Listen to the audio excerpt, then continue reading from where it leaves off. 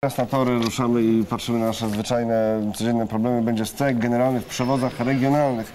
Protest ma się odbyć 17 sierpnia. Jeśli postulaty kolejarzy nie zostaną spełnione, pociągi znów staną 24 sierpnia. Protestujący domagają się 280 zł podwyżki i chcą przedstawienia planów finansowych obrazujących skąd firma weźmie pieniądze na podniesienie pensji. Chcemy pieniędzy i pokażcie nam skąd nam weźmiecie te To ja dorzucę jeszcze jedną liczbę do tego, podobno 3000 pociągów, więc proszę y, nie planować sobie wyjazdu 300 tysięcy 15, pasażerów 17, dziennie. tak? Dobrze? 17 sierpnia To jest do środa, bo 24 sprawdzałem to dzisiaj. sierpnia.